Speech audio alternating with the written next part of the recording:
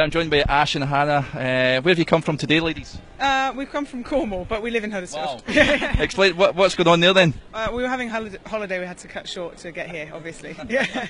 So you've got the Huddersfield Town shirts on today. Um, how do you see this one going? Uh, fingers crossed for a Huddersfield win. I think it's going to be a sixth We're playoff loss for Reading. That's yeah, what I'm going six playoff loss for Reading. Town are going to do it. Yeah. Hannah, what do you think of David Wagner this season? He's been amazing. He's come in and to he was so pitted like lowly by the pundits and everything, and to do what he did, and he just did his own thing. He had a plan, and it's worked, and it's um, yeah, we're been brilliant, and we're here.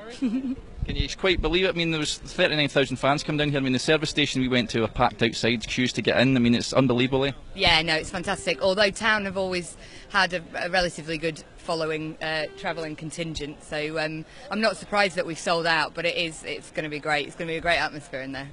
Is a sense of, do you feel a bit sick maybe as well? A sort of stomach churning a wee bit? Yeah, I feel a little bit sick. I had a Prosecco for breakfast. That's not helped either. So can you go prediction then? How do you think it'll go?